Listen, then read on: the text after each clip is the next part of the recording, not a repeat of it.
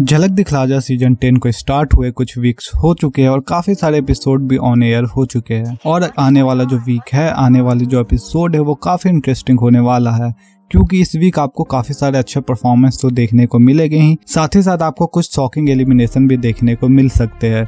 अगर वोटिंग की बात की जाए कि वोटिंग से कौन सा ऐसा कंटेस्टेंट है, कौन सा सेलिब्रिटी है जो कि एलिमिनेट हो सकता है तो जो बॉटम लाइन पे चल रहे जिनको सबसे कम वोट मिले हैं, वो है पारस, शिल्पा और गुंजन। लेकिन जजेस के मार्क्स के अकॉर्डिंग अगर देखे जाए तो गुंजन तो सेफ़ होने वाली है। लेकिन अभी जो बॉटम में चल रहे हैं, वो चल रहे हैं पारस और शिल्पा। तो आपके अकॉर्डिंग क्या लगता है कि कौन सा वो कंटेस्टेंट होगा? क्या पारस एलिमिनेट होगी या शिल्पा एलिमिनेट होगी?